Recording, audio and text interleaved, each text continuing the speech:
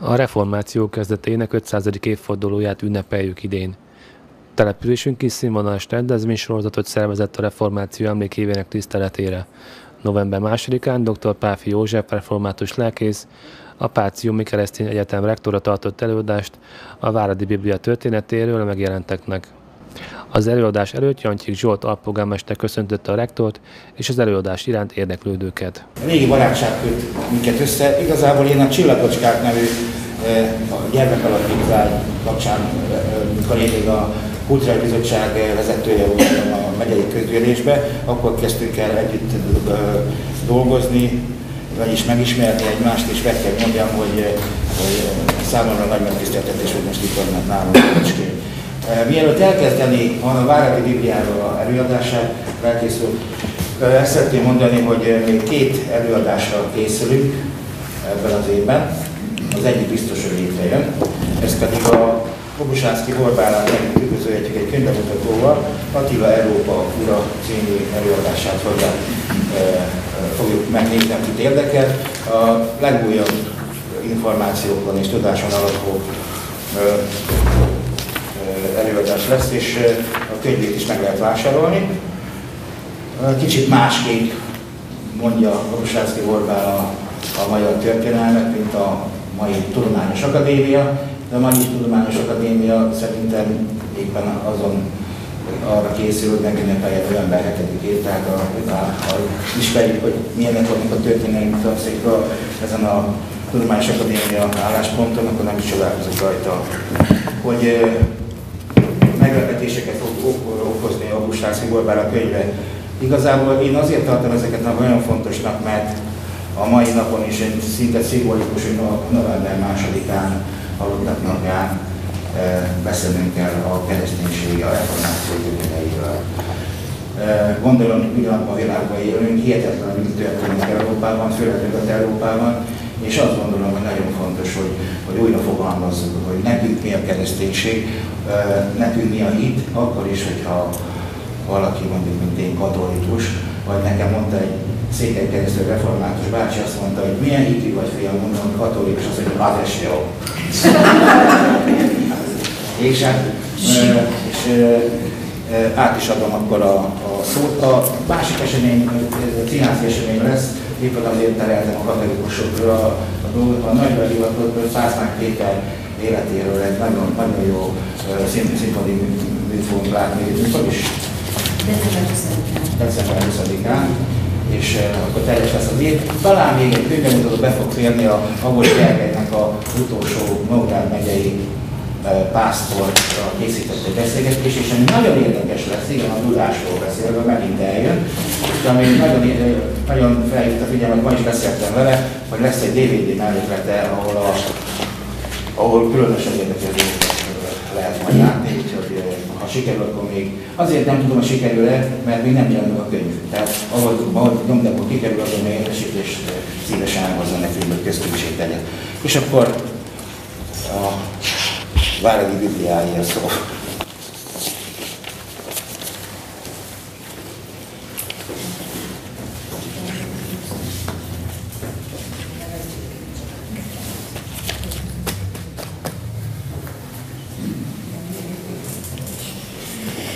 Tisztelt Hölgyeim és Uraim, kedves barátaim a Krisztus Jézusban!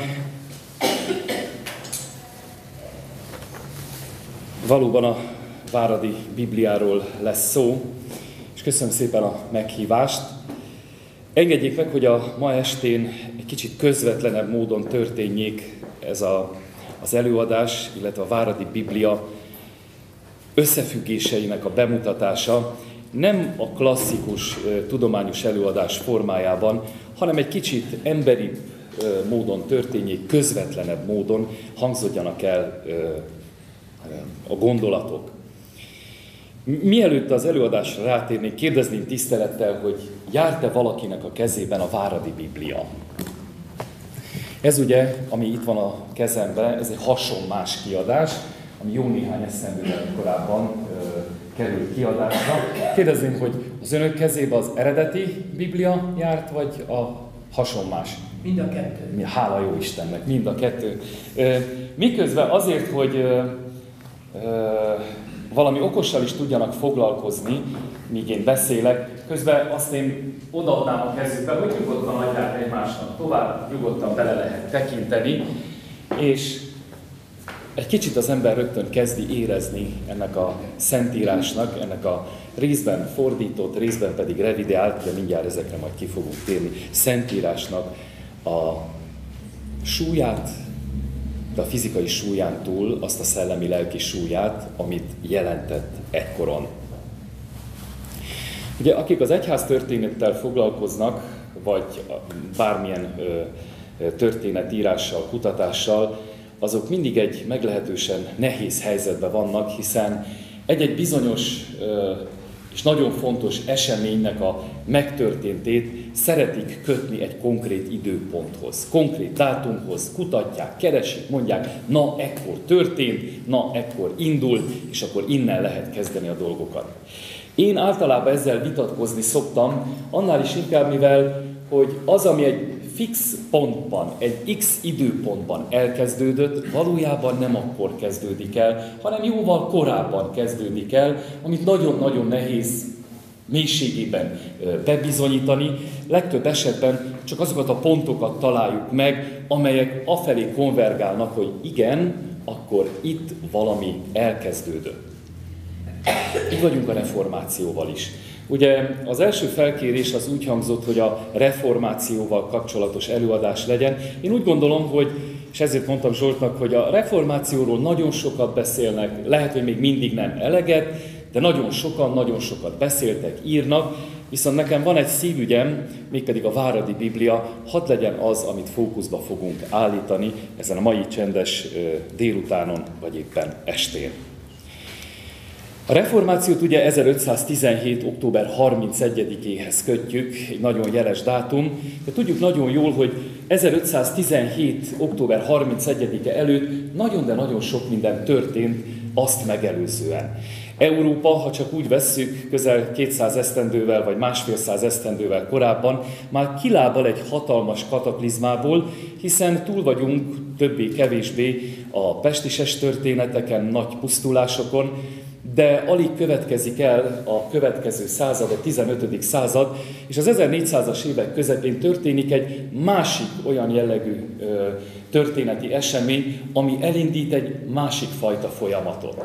Akarva, nem akarva az ember számtalan áthallást is ide gondol ebben a pillanatban, hiszen 1453-ban elesik Bizánc, tudjuk nagyon jól, és ettől kezdve megindul az iszlámnak az a fajta támadása Európa ellen, amelyiknek tudjuk többé-kevésbé, hogy mi lett a vég eredménye. Ugye a Balkánt meghódítják, aztán Magyarország lesz az a pont, Magyarország lesz az a végvonal, amelyik az iszlámnak azt mondja, hogy eddig és ne tovább. Igaz, hogy eljutnak egy kicsit Bécsig, Bécsnél aztán visszafordulnak, de Magyarországon bizony egy darabig megtelepednek, és hát tudjuk, hogy meddig ülnek itt, mi lesz ennek a történetnek a végeredménye. Igen ám, de közben Európa is elkezd mozogni a maga módján és a maga összefüggéseiben, és történik egy nagyon fontos és nagyon jelentős esemény, amelyik én azt szoktam mondani, hogy az Úristen tudatosan engedi előkészíteni a dolgokat, és segít, hogy a maga ügye az annak rendje módja szerint elő tudjon készülni, és hát dicsőségre tudjon jutni. Ugye az 1450-es esztendőkben, 1450-60-as esztendőkben van egy másik nagyon fontos esemény, ami megint a reformáció irányába tereli a figyelmet, mégpedig ugye a Gutenberg történet, amikor a nyomdát feltalálják, és a nyomda elkezd mozogni, elkezd dolgozni. Zárójelben mondanám el, hogy ma már vannak történészek, egyház történészek, akik azt mondják, hogy az, hogy a nyomda, Gutenbergi nyomda egyre több Bibliát nyomtatott ki, ez vezetett ahhoz, hogy a reformáció el tudjon indulni. Érdekes megállapítás, nagyon sok bizonyíték is van már mellette. Ugye mi a korábbit szoktuk mondani, képviselni, vallani, hogy Luther a maga sajátos élethelyzetében, látva Európának a dolgait, a személyes és a közösségi összefüggésben felteszi a kérdést, hogy hol találhatnék én egy kegyelmes Istenre, és akkor tulajdonképpen elkezdi olvasni a Szentírást, és az a lélek, ami ugye benne van, arra rátalál a Szentlélek, és azok a holt betűk élő betűkké válnak, és elindul egyfajta gondolatmenet, gondolatmenet következtében tisztítja le fel a gondolatait, megfogalmazza a tételeket, amelyek ugye kikerülnek, és ezzel már el is jutottunk a reformáció konkrét kezdetéhez. Fókuszáljuk egy kicsit még tovább, még közelebb, mégpedig a Kárpát-medencére, hiszen Magyarországon is jelentős dolgok és események történnek. Ugye Magyarország ki van téve az iszlám inváziónak, majdnem azt mondtam, hogy migrációnak, de tulajdonképpen ki van téve az iszlám inváziónak. És miközben ki van téve, történik 1526, meghalt Nagy Lajos király, Nagy Lajos király után ugye jön a másik oszlop, ami eldől, 1541 Buda eleste, és közben az ország több részre oszlik. Fel lesz darabolva, három kemény részre lesz feldarabolva az ország, és ebben a sajátos élethelyzetben megszólal valami a magyar nép lelkébe, és ekkor lesz teljesen nyitottá, befogadóvá az Isten igényére, és az Isten igéje lesz az, ami elindít egyfajta reformációt. Megint egy zárójel tennék pusztán azért, mert hallottuk, hallottuk itt az előbb a katolikus összefüggést és megjegyzést. Számtalanszor nem beszélünk erről, meg, meg nem hangsúlyozzuk kellőképpen. Tisztelt Hölgyeim és Uraim, kedves barátaim, a reformációt túlnyomó részt katolikus szerzetesek vették a kezükbe, és ők terjesztették számtalan összefüggésbe, de akkor még messze nem volt szó intézményi szakadásról, új intézményről, struktúráról, egyházról, akkor valójában Ferences szerzetesek túlnyomó rész, és nyilván mások is, vették kezükbe a reformációt, és indítják számtalan helyen, számtalan összefüggésben. Ugye nagyobb részt olyan tudósok, vagy olyan lelkészek, papok voltak külföldön, járták a korabeli peregrináció útját, akiknek a korabeli katolikus egyházhoz volt közük, és onnan mentek, ők voltak azok, akik aztán találkoztak, és hozzák vissza a reformációnak a tanítását, de nyilván messze nem arról volt szó, az, hogy uh, itt intézmény szakadásról, új egyháznak, mint struktúrának az építéséről lesz szó. Ezt én szoktam hozzátenni, meggyőződésem, hogyha ezt a korabeli pápai intézményrendszer ezt bölcsen kezeli, tehát Szentlélektől ihletetten kezeli, akkor nem egyház szakadásról lesz szó, hanem valami egészen más történhetik, születhetik. Az azonban, hogy miért történt így, az legyen a Jóisten titka, ezzel együtt sokkal több az, ami bennünket összetött, köt, mint ami szétszakít. Még közelebb menjünk egy kicsit, a fókusz az még közelebb menjen. Várad, a majd későbbi Nagyvárad. 16. századnak a közepén vagyunk. Várad ebben az időszakban csak úgy, mint a korabeli, vagy az azt megelőző évszázadokban egy meghatározó jelentőségű város volt mindenféle szempontból. Ugye Váradot nem véletlenül nevezték Erdély nyugati kapujának, és hát ugye Pársz Hungáriaként Párcium fővárosának, központjának, Gazdaságilag is, politikai, katonai szempontból, stratégiailag is kulcs jelentőség volt, kulcs fontosságú szempontot töltött be. Hát ezért is lett legtöbb esetben az erdélyi várkapitányokból, erdélyi, illetve a váradi várkapitányokból, ezért lett erdélyi fejedelem nagyon sok esetben. Nem térnék ki a 16. század 60-as, 70-es, 80-as, és még belecsúszik egy kicsit a 90-es esztendőknek az interkonfessionális háborúiba, vitatkozásaiba, amely ugye részben református katolikus, református unitárius, unitárius katolikus, unitárius református, tehát megtették ezeket a tiszteletköröket, mert ugye azzal együtt, hogy 1568. június 6 és 13 között a Tordai Zsinaton elfogadják, országgyűlésen, bocsánat, elfogadják a négy recept a religiónak a létjogosultságát, ezzel együtt ezek a dolgok nem csendesedtek le. Ugye ez több szempontból is, illetve ez volt, hogy politikai szempont, volt, hogy egyházi, volt, hogy gazdasági, tehát ezek az interko vagy felekezet közi háborúk zajlottak, amíg eljutunk a 17. század első felébe, illetve első éveibe, amikor azt lehet mondani, hogy miután megerősödnek az úgynevezett református identitású fejedelmek, attól kezdve egy egészen más hangsúlypontot kap még Várad is, mert ugye a református fejedelmeknek már lesz egy tudatos politikájuk, amit Nagyváradon is képviselnek. És ezzel eljutottunk Váradnak abba az időszakába, arra a helyére, ahol kell keresnünk a Váradi Bibliának a tulajdonképpeni történetét és kezdeteit.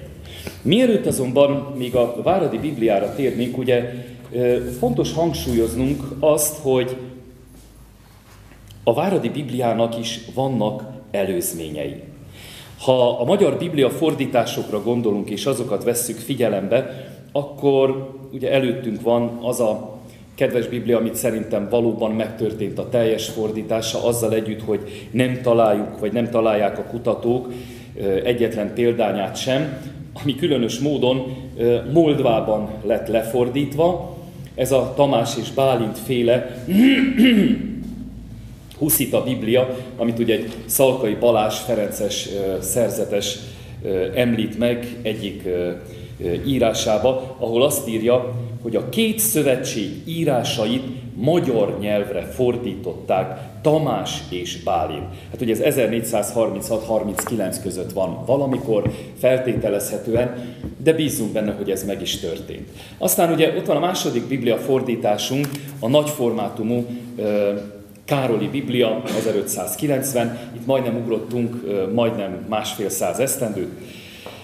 Ez a második jelentős, de tulajdonképpen az első is, hogyha úgy vesszük, mert ez maradt meg, ezt használjuk, ez, a, ez ami igazán kézbe vehető.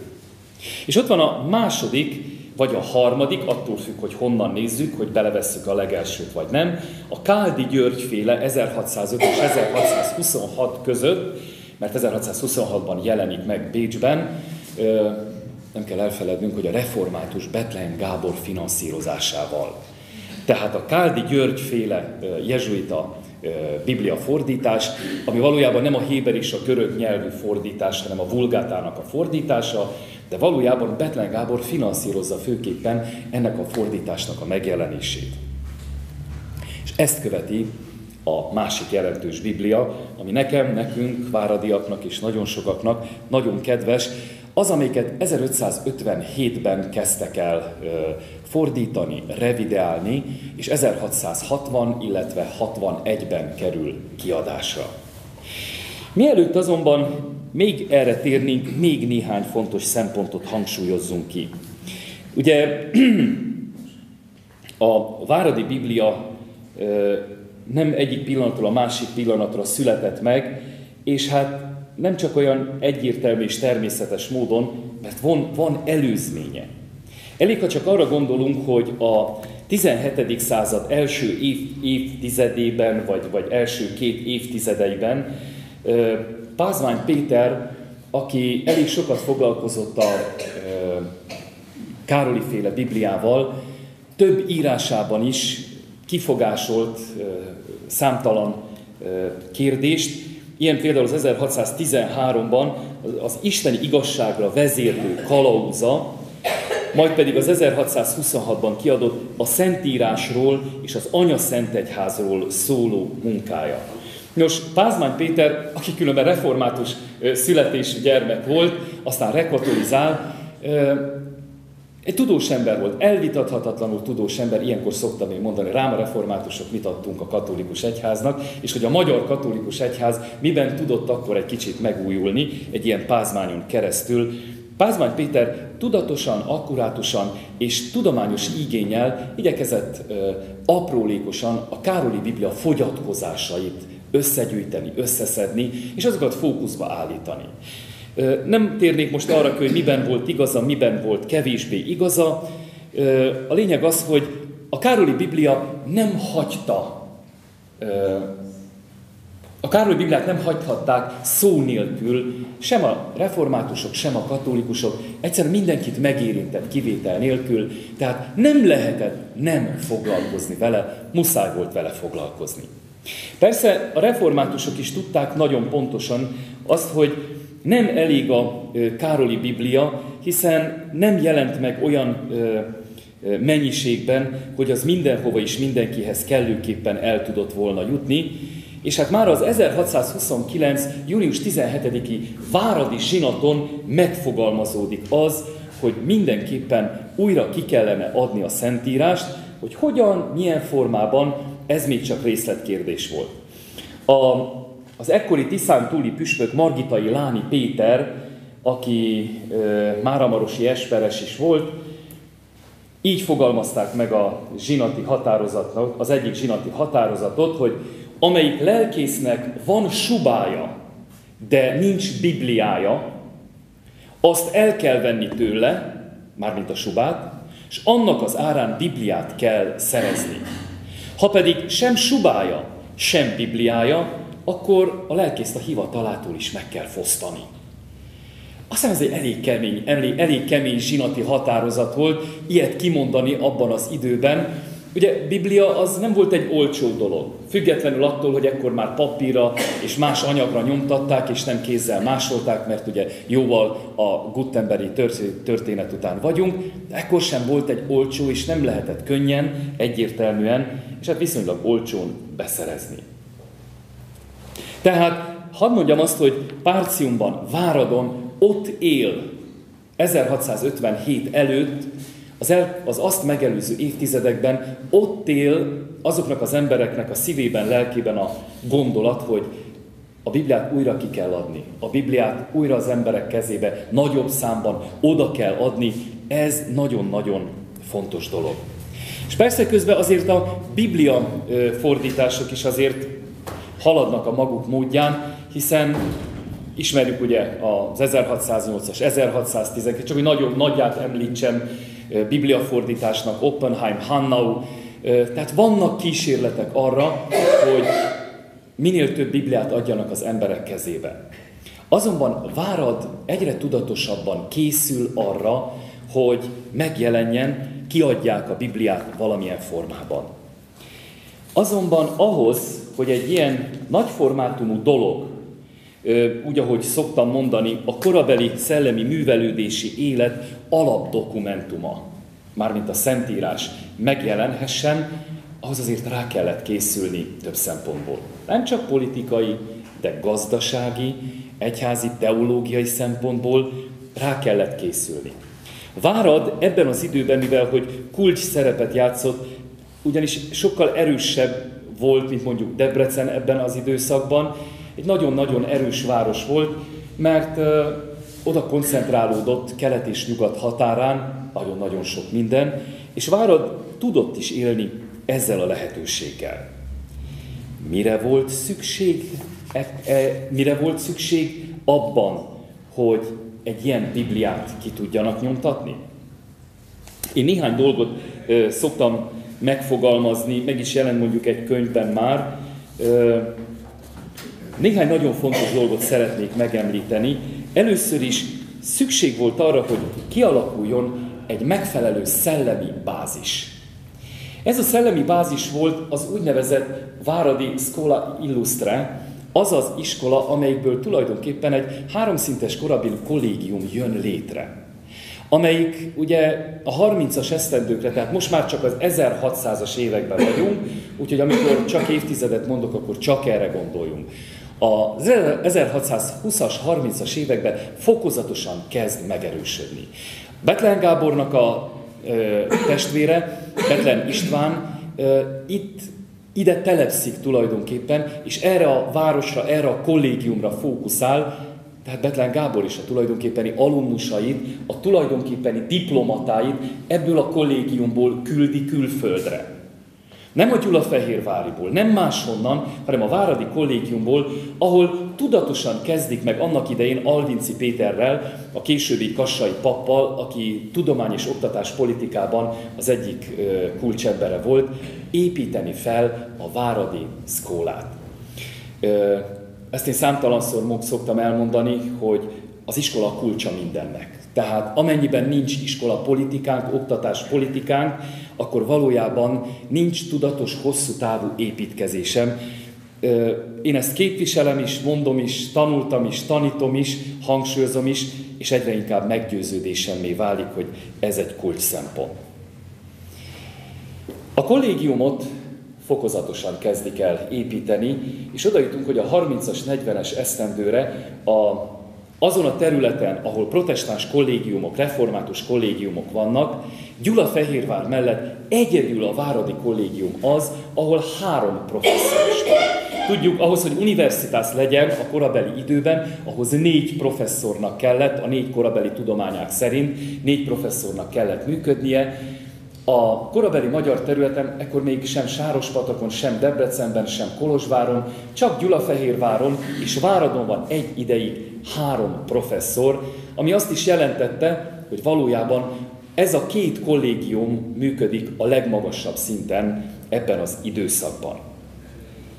Azonban nem elég a kollégium, nem elég az iskola, nem elég a szellemi bázis, ami itt létrejön, hanem szükség volt tulajdonképpen egy olyan könyvtárra is, amelyről viszonylag keveset tudunk, hogy hova lett, mindössze Szalárdi Jánosnak, ugye a Siralmas Krónika írójának a leírásából tudjuk, hogy a törökkel történt megegyezés következtében ezt a, ezeket a ö, könyveket, és ugye a korábbi hiteles helynek, mert ugye az azt megelőző katolikus időszakban Várad, Gyulafehérvár, Gyulafehérvár mellett hiteles hely is volt, azoknak az anyagát részben elpusztította a török, és egy részét, ami az iskolához és a nyomdához, meg a Bibliához kötődött, azokat elvitték Kolozsvárra, és az egyes feltételezések szerint egy minimális része Debrecenbe is átjöhetett. De ez sajnos nem bizonyított, ez még várat magára a későbbiek rendjén. A nyomda. A nyomda történettel foglalkozók egyértelműen bizonyítják ma már, hogy a korabeli időszakban a Váradi nyomda volt a második legjelentősebb és legnagyobb példányszámot termelő csúnya szóval nyomda, korabeli magyar területen. Ehhez kellett egy megfelelő minőségű, korabeli minőségi nyomdát hozatni, és hát úgy szintén a Betlen családnál vagyunk. Betlen István gróf az, aki ezt a nyomdát Lüneburgból, pontosan nem tudjuk, hogy a korabeli időben melyik a három Lüneburg, hiszen három Lüneburg város volt, Németország, Svájc, Hollandia háromszögében, de ő hozatja, ő vásároltatja, és nem máshova, hanem pontosan Váradra viszi, azzal a tudattal, azzal a szándékkal, hogy ott nagyon komoly munkát kell végezni, és főleg a Szentírás nyomtatásának szolgálatába kell állítani ezt a nyomdát. 1639-1640 határán vagyunk, amikor beállítják ezt a nyomdát, és elindul a maga tudatos nyomdászati politikájával, Szenci Ábrahám nyomtatni azokat a részben világi, részben pedig egyházi igényű kisebb traktátusokat, nagyobb formátumú írásokat. Például a korabeli filozófiának vagy tudomány képviselőnek, Rámusznak a kiadványai először itt jelennek meg a Váradi nyomdába, és hát számtalan olyan dolog jelenik meg, ami ma már tényleg olyan közkincs, és örömmel forgathatják az ezzel foglalkozók. 1639-1640 határán vagyunk, ez egy vitatott kérdés, hogy már 39-ben elkezdte, vagy csak 40-ben kezdte, de üdvösség szempontjából mellékes kérdés. Viszont az elkövetkező 20 esztendő alatt hihetetlen nagy munkát végzett Szent Kertész Ábrahám ebben a Váradi nyomdában. Ő maga is megfogalmazza a Váradi Biblia. Sajnos a, az után, vagy a, a, ennek a kiadásnak, ebből a kiadásból, akik ez, e körül bábáskodtak, valamiért sajnos kifelejtették, Szikertész Ábrahámnak, a könyv nyomtatónak a, az előszavát, ez itt van, bárkinek megotadom, el lehet olvasni, ahol világosan és egyértelműen megfogalmazza maga Szenci Kertész Ábrám, csak az eredeti példányokban található, hogy mi volt a cél, miket vettek figyelembe, miért kívánták ezt a Bibliát megjelentetni, mi a lényeges szempont ezzel a Szentírással kapcsolatban. Így jutunk el 1657 és 1660 közelébe, ahol ez a Szentírás megjelenik. Azonban az iskola, azaz a kollégium, amelyikről beszéltem, és annak a jelentőségéről, szerepéről, hiszen itt lesznek olyan professzorok, olyan tudós emberek, akik kezükbe tudják venni az eredeti szentírást, mert ugye ez megint csak a Hébert és a görögöt vette alapul, miközben revidálta a Károli féle fordítást, tehát nem a vulgatát, bár azt is ismerték, hanem az eredeti Hébert és a görögöt. És talán az egy érdekessége, hogy ebből már kimaradnak az úgynevezett apokrifusok, majd később nyomtatja Szebenben, hiszen Szentcikertész Ábrahám Váradról Kolozsvára menekül a nyomdával, Kolozsvárról pedig Szebenbe is ott telepszik lesz, mint egy 6-8 éven keresztül, ott végzi a Váradi Biblia további nyomtatását, helyretételét, és a megmaradt fóliók ugye arról beszélnek, hogy tervbe vette, hogy külön megjelenteti az apokrifusokat is, hogy így, így váljon tulajdonképpen teljessé az ő munkája. Tehát iskola, miképpen mondottam, feltétlenül fontos hozzá a nyomda. A nyomda mellett feltétlenül fontos volt az az egyházi közeg, amelyik egy kicsit sajátos utat, sajátos politikát jár, egyház politikát jár, már a 16. század utolsó éveitől, 17. század első éveitől, hiszen az úgynevezett presbiteriánus vagy puritánus mozgalomnak várat főfészkévé válik. Ez egy külön történet, erre most hadd ne térjünk ki, viszont Várad a maga módján alakítja a sajátos egyház politikáját, egy kicsit távol Debrecentől, távol Gyulafehérvártól járja a maga önálló útját.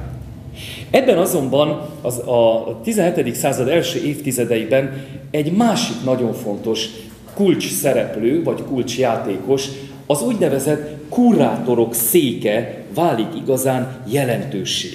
Szalárdi János pontosan szeretném idézni, azt mondja, hogy a kurátorok széke tulajdonképpen nem más, mint a Democratico Aristocratorum Regimen. Democratico Aristocratorum Regimen, amely az egész nép egyező értelméből vala, a lakosoknak elei és értelmesebbjei közül.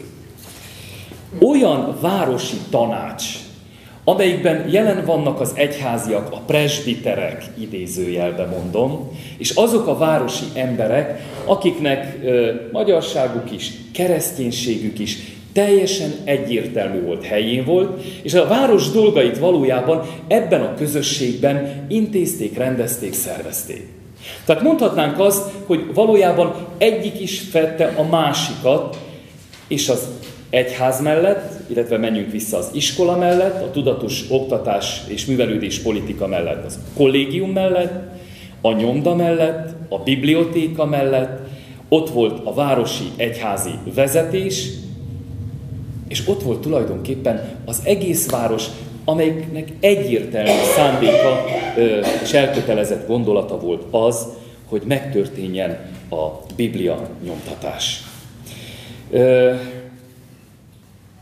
Nyilván keveset szoktunk beszélni, meglehetősen keveset, azokról a kulcs szereplőkről, akik a Biblia fordításban nagyon-nagyon fontos szerepet játszottak. Valójában én Köleséri Sámuelnek a nevét szeretném igazán megemlíteni, aki már tulajdonképpen ezzel a szándékkal hívnak vissza, 1657 elején érkezik Váradra, és hát két éven, tanít, két éven keresztül tanítja a teológiát, illetve a nyelveket, ahogy ö, megjegyzi ő maga az idvesség sarkában, Sarka című munkában, ami Sáros patakon jelent meg később, az akkoron ott virágzó szkólában. És hogy mennyire nem csak önmaguk fényezése volt ez az akkoron ott virágzó szkóla, erről ugye a korszak talán egyik legnagyobb ö, tudománypolitikusa, vagy tudományos művelődés képviselője, Apácai Csere János is a beköszöntő beszédjében ugye pontosan erről ír, hogy az 1650-es években vagyunk. Ebben az időszakban a reformok terén, tehát az oktatás politikai reformok terén a Váradi Szkólában tettek a legtöbbet, és éppen ezért a Váradi Szkóla a legerősebb ö, oktatási intézményünk, fogalmazza ezt meg maga Apácai Csere János is, ugye az említett beköszönő beszédében. Így érkeztünk el 1657-1660 60-as esztendőkhöz, amelyről ugye tudjuk, hogy a legsötétebb időszakot hozta el, hiszen 1660 tavaszán, ahogy írják a tudósok, a török büntető hadjárat következtében, ugye második Rákóczi talán fejetlen, meggondolatlan politikájának köszönhetően a törökök egy büntető hadjáratot indítanak Erdély ellen, és ennek következtében hát ugye Várad és az egész védvonal valójában elesik, és a Váradi várban lévő 801 néhány ember utolsó pillanatig kitalta majdnem százezres török sereggel szemben, de egy adott pillanatban már nincs mit tenni, feladják a várat, és a néhány pont, amelyet ugye valószínűen, valószínűsíthető, hogy Szalárdi fogalmazott meg, vagy pedig egy másik jelenlévő teológus, Kovász Nagy Péter. Az ötödik pontja a megegyezésnek az, hogy a félkész Bibliát, illetve a nyomdát hadd vihessék el magukkal. Ebbe a török bele is egyezik, mivel nem aranyat, ezüstöt és nem más olyan ö, értéket kértek, hát ez neki kevésbé volt fontos, és így viszi magával tovább Kolozsvárra, ahol aztán befejezi a Szentírást. Van egy érdekessége ennek a Szentírásnak, most egy picit elkérem tisztelettel, elnézést kérek, mégpedig az, amit már említettem az apokrifusok mellett, van még egy másik érdekessége is, mégpedig az, hogy ugye ki lát jó szemüveg nélkül? Én is látok, csak mit ír, tessék olvasni? keletkeztetett, készítetett, kezdettetett, kezdettetett, nyomtatása, a én nem látok szemek nélkül. Veszedelem előtt. Veszedelem előtt, és elvégeztetett Kolosvára. Kolosvárot Szent Cika Ábrahám. Kertész Ábrahám által mikor? 600? 60? 1660. 40. És akkor jegyezzük ezt meg, tehát 1661, és akkor hagyj nyissuk ki az új szövetségi részhez. Náhum, itt van az új szövetségi rész, tessék olvasni. Váradon. Nyomtatott, Szent Cikertész Ábrahám által 1500. 1660. 60. Igen. 60. Tehát először az új szövetséget nyomtatja ki Váradon, illetve annak a fóliói, majd pedig az Ószövetséggel befejezi Kolozsvárot. Ez, erre nem nagyon találunk példát, vagy legalábbis a ö, bibliakutatással foglalkozók nem tudnak erre példát, hogy először az új szövetség jelent volna meg így egybe, mert nyilván számtalan új szövetség fordítást tudunk, vagy rész új szövetség, vagy rész új szövetség fordítást. Jaj, bocsánatot kérek, igen, köszönöm szépen. És így történt meg ö, ennek a Bibliának a ö, fordítása, és hát a későbbiekben pedig megjelenése.